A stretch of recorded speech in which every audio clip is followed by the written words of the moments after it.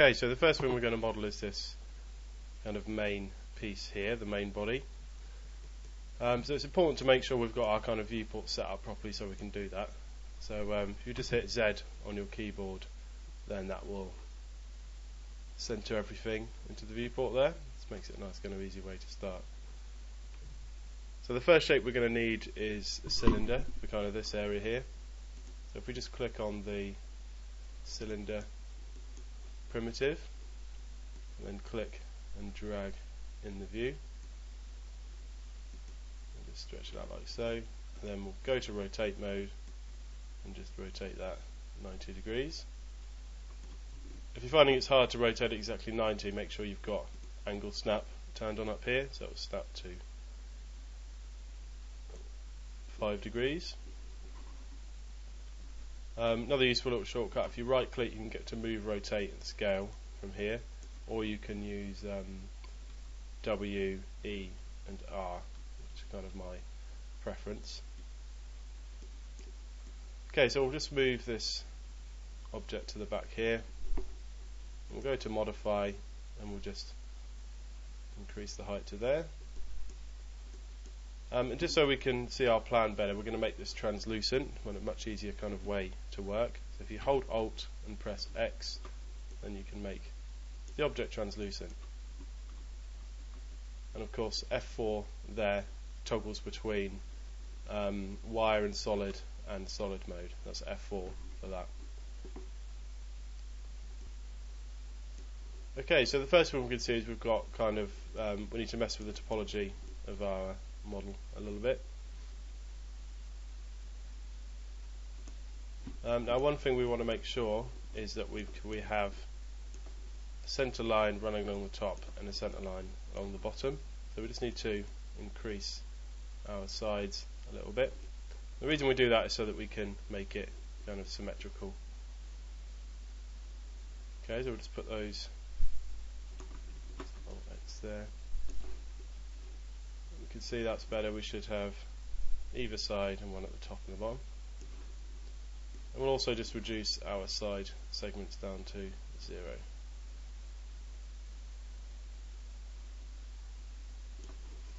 Okay, so if we then put an edit poly modifier onto this model, make sure you've got this stupid kind of shortcut override turned off. Then what we're going to do is go to polygon mode and select the top of the, of the cylinder. We'll go to bevel here and we'll just move that on and then we'll use this slider to bring it down as well. Let's just turn on Alt X as well so we can see. We'll just hit the tick on there then we'll go to extrude. We'll slide that one along to there. OK that one. then bevel again and tweak these settings to kind of match this shape.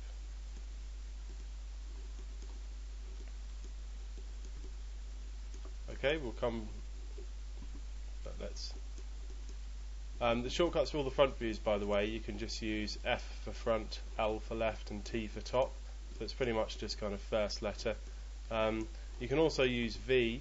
If you press V, you can pull up a kind of list of views that you can use. Okay, so just come out of polygon mode for a second, and we'll just move this model onto here.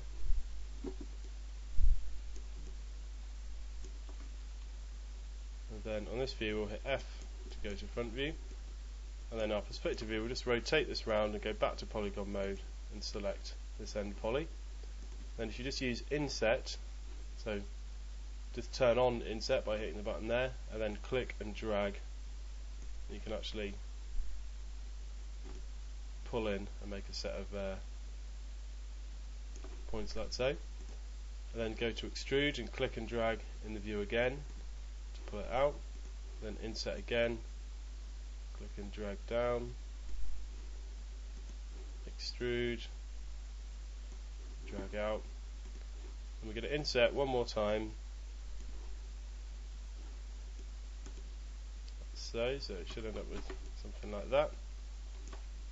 And if we just right click and go to hide unselected, then we can extrude this inwards as well kind of make that kind of engine area. Okay, so we'll unhide all now that we've completed that bit. So we've seen like two different techniques we can use there. One is to actually turn on extrude mode and then just make a selection and click and drag. And the other is to actually use these settings to pull up this and be far more kind of precise about it.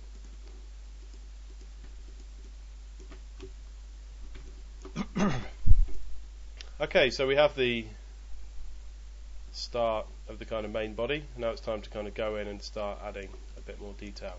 So the first thing we want to do is get in these um, little areas here that kind of stick out on the model.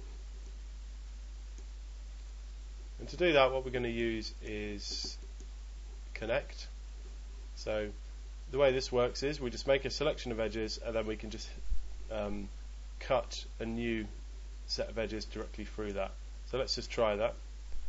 The first thing I want you to do is just select one edge along here and if you hold shift and select the next edge along you'll see it selects kind of every edge along there.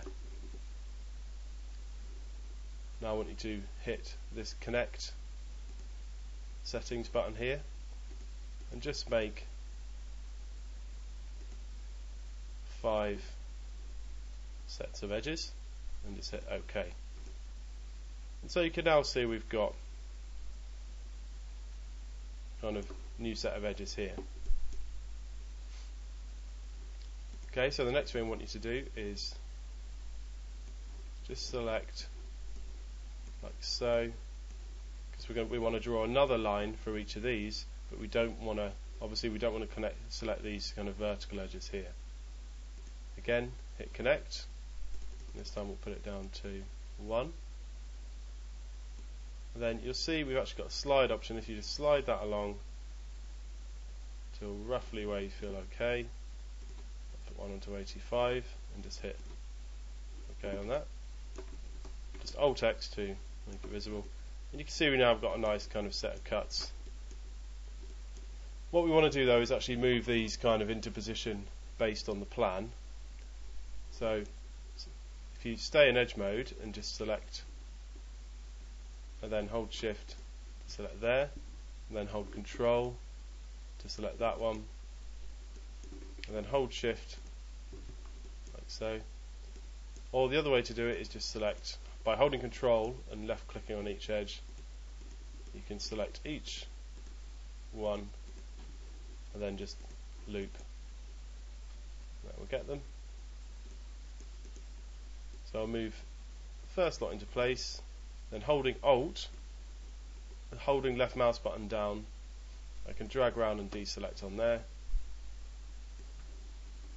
And then holding Alt and holding left mouse button down and dragging, I can deselect on there.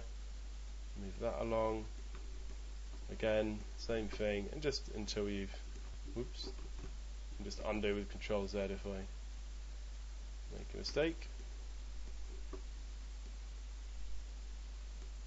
And there we go. Okay, so now we've got those in place, we actually need to create some geometry that sticks out from there. To do that, go to polygon mode. Um, the shortcuts for each of these, by the way, each of your different elements, is just 1, 2, 3, 4 and 5 on the keyboard. So if I just hit 1, you'll see that will go to vertex mode, 2 will go to edge mode, and 4 will go to polygon mode. Then what I want you to do is just do a left click and drag select on all those. And if you just hold Alt and then drag select each of the big kind of areas out. I often find in Max it's a lot easier to minus select than add on to a selection. So you'll see me do that quite a kind of lot in um, these modelling tutorials. Um, that is select a larger area than I want and then deselect the bits I don't want. Okay, so to make these areas stick out, we're just going to use extrude. So if we just hit extrude. Now you notice it'll probably do something like that, so it's just not quite working properly at the moment. And that's because there's different kind of ways of extruding, and that's with this little drop down menu here. So if we hit that, you see we've got group normals, local normals, and polygon. So first of all, try polygon, and then actually make this stick out rather than inwards. And you'll see what we get. Each polygon extrudes individually. Try by local normals, and that's the actual one we want. So we'll just bring that down. Be a bit precise, we'll do it by 5 centimeters and just say OK. Okay, so we're starting to get kind of basic shape to our model now. Um, so the next thing we're going to look at doing is this indentation here. Um, of course we could use Connect for this, but I just want to show you another little tool. If you come over to your graphite modelling tools here and go to Edit, you'll see you have Swift Loop. We just select that. You'll see you get this little kind of green preview wherever you roll your mouse. Now that's previewing what it's going to cut. So if I just click there, you'll see it's actually made a new cut for me in the model. So again, we'll go to polygon mode, select and then deselect what we don't want, and then extrude. And obviously on this one we want to extrude inwards. So we'll just extrude this in by say minus 5. Okay. And Alt X to go back to visible mode. And we're starting to get somewhere with this. Okay, so the next thing I'm looking at is this kind of front area here. And you'll see how it's curved, and we don't have this curved. So again, we're going to use Swift Loop just to add in two loops, and then we're going to curve this area off.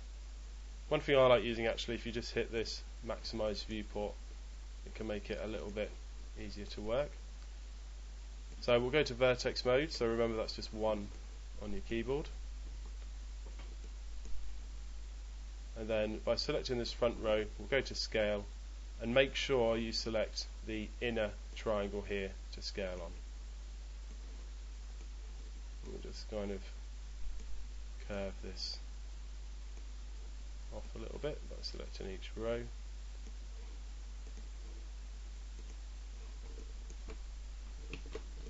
And there you go, we have some kind of nice curvature to it now.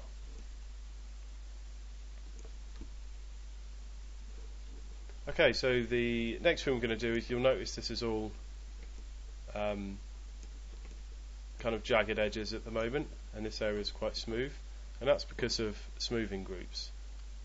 So if we just go to polygon mode here, and if you press Control and A to select everything in your model, fact, you can also use F2 if you want to just turn off. That toggles between put it red and just have show edges in red. If you scroll down in your polygon um, to your polygon smoothing group section here, and just hit auto smooth, you should see the model kind of smooth out. Now there's loads of stuff you can do with these smoothing groups. Um, like for instance, let's say I wanted this this edge line in here to be visible. Well, to do that, I would select that area there, turn off that smoothing group, and say turn on one further away, say 6, and you can see that is now defined. So we'll be covering more about smoothing groups later, like um, it's fine if you just want to use the um, auto smooth settings.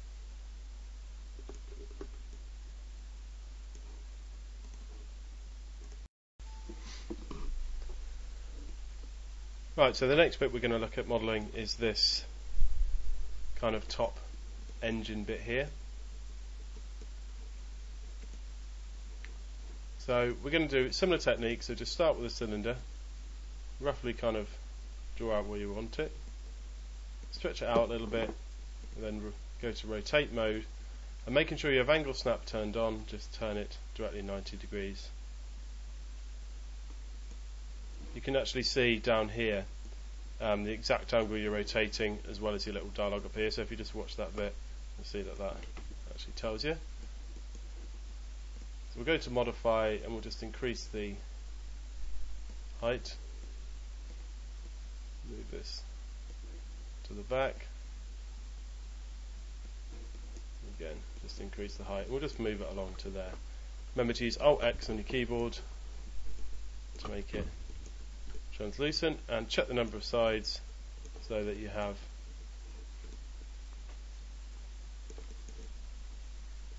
um, one a whole kind of cut going directly through the middle and across the side.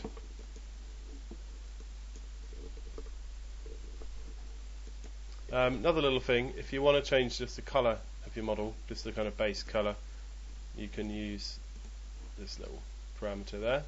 So just any kind of colour. And obviously you can type the name in here. So let's call this um, ship main. And we'll call this ship engine. Okay, so we'll then apply an edit poly modifier. And remember to make sure that this is turned off. And then we'll go into polygon mode. What we're going to do here, just makes it a bit easier for you. If you right click and go to unfreeze all, you can select these two, hide selection. And now you can work in this view with this one as your kind of reference. So I'll move this into its kind of rough position. Go to polygon mode and we'll select the end poly here. And remember we'll use inset first and then we'll use extrude like so. insert again and then we'll extrude inwards this time.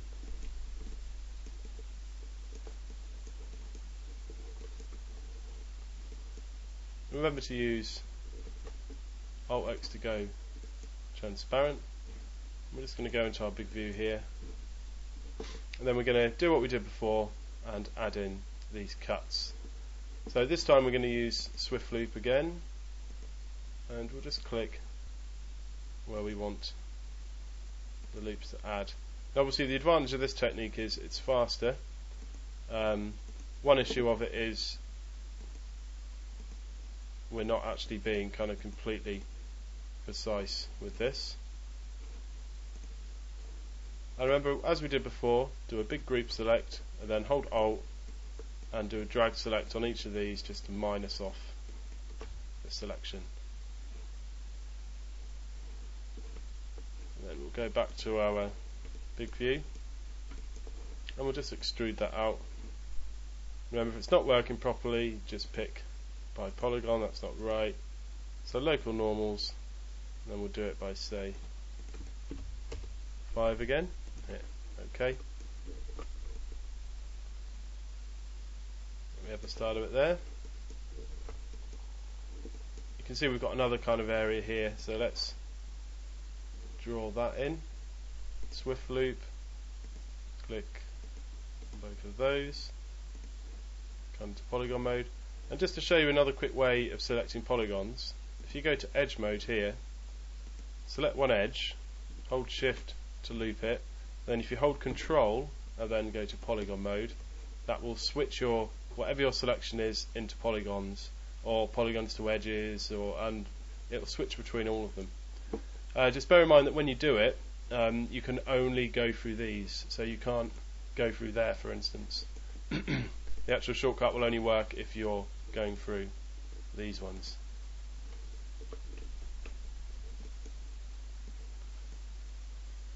Okay, so with those polygons selected, we'll hit extrude. We'll just leave that at 5. Remember it's um, F4 to go to kind of smooth and wireframe mode.